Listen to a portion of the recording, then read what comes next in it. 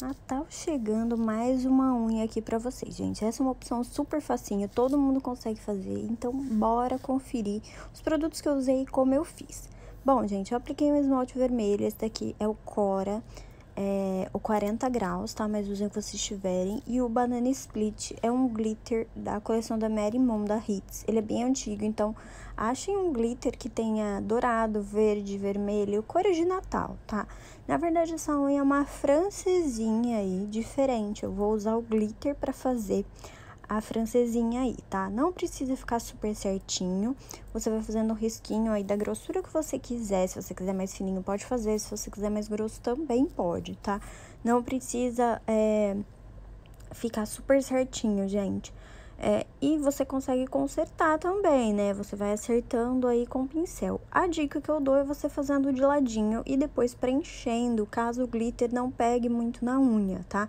Você vem com o pincel, faz de ladinho e depois puxa aí, é, aplicando mais glitter na unha de acordo com o que você quer.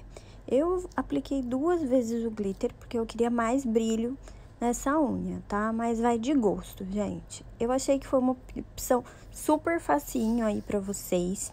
É um jeito bem mais prático, né, pra fazer. E ficou super lindo, gente. Cara do Natal, né? Com brilho, é, o esmalte vermelho, que também é muito cara de Natal. Agora, vocês estão vendo que, ó, a segunda vez eu tô mais aplicando o esmalte na onde eu quero o glitter mais forte, tá vendo? Então, eu aplico diferente da primeira vez. Eu não aplico tanto de ladinho, eu aplico na posição normal mesmo de um esmalte.